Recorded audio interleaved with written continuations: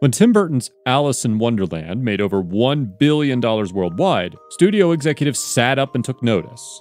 There was now a rush to find the next classic adaptation that could transcend its roots to appeal to adults as well as their children. The plan was to trade in nostalgia, brand recognition, and preferably another public domain work. It was only a matter of time until someone blew the sawdust off Pinocchio and reimagined the character all over again.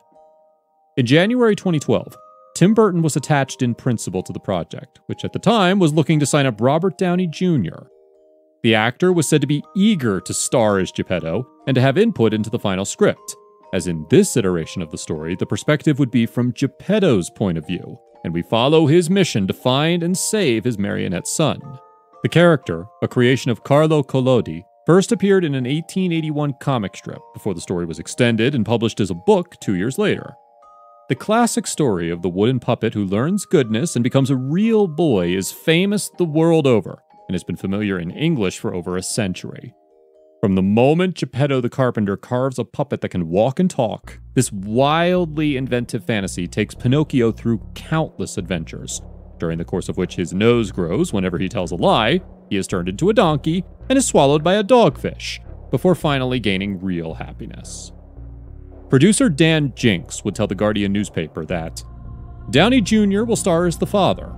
When Tim Burton directed Alice in Wonderland seven years ago, it became one of the top grossing pictures in history, and so everybody looked at the giant titles that were in the public domain and that could possibly be exploited. That's literally what we did. I had been working with the writer Bryan Fuller.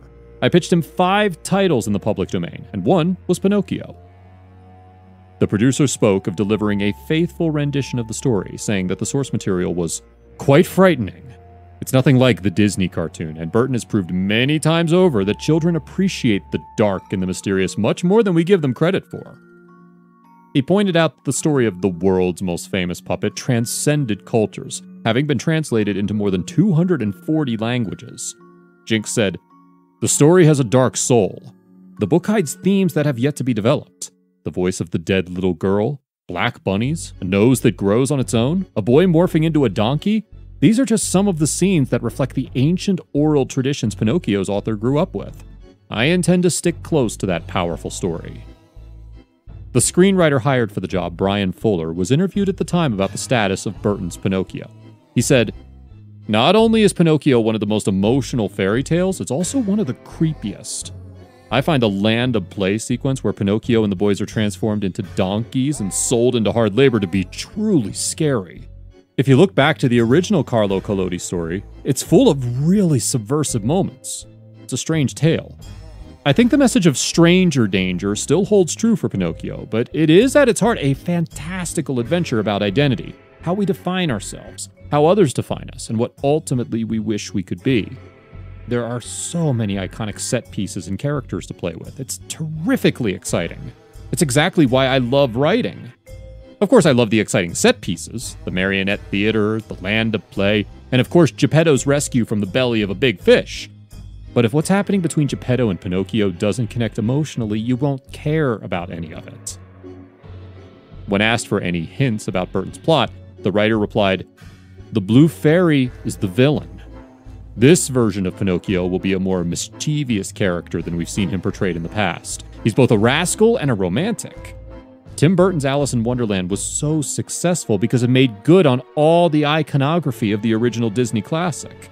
It gave the audience all the memorable moments and characters they came to see, but with a twist or expansion that made those characters and moments wholly fresh again. It creates a sort of mashup aesthetic to these modern fairy tale retellings that can be a sentimental experience for both adults and children when it connects. The deal was never set in stone, despite Warner Brothers' strong desire to get the production started. Sticking points included the fact that Downey was slated to begin work on Iron Man 3, while Burton was said to be strongly considering the Miss Peregrine's Home for Peculiar Children adaptation as his next directing project. As the project stalled over the next nine months, X Men first class screenwriter Jane Goldman was brought on board to do some script doctoring, but star and director would eventually become unavailable. Fuller would reflect on the non starter project, saying, I wrote a script a couple of years ago and was in London working with Tim Burton on that. It was very exciting. When Tim left the project, they chose to go with a different script. The project then went back into development, which was unfortunate. It was essentially greenlit and ready to go, but then there was an abrupt change and Tim left the project. It was very much a Tim Burton picture, and the script I wrote was designed to be a Tim Burton picture. There was darkness, emotion, and a kind of recollection to Edward Scissorhands with the style of storytelling where there was a sweetness to it. There was a lot of humor of the absurdity to the situation, and is Geppetto losing his mind with this doll coming to life. It wasn't as dark as the source material because if you read it, it is pretty bleak and all about starving children and about what you'd do to survive. From what I understand, they are now doing something completely different that doesn't have much to do with the source material at all. I was so proud of the script, and developing the script with Tim Burton was a career highlight for me.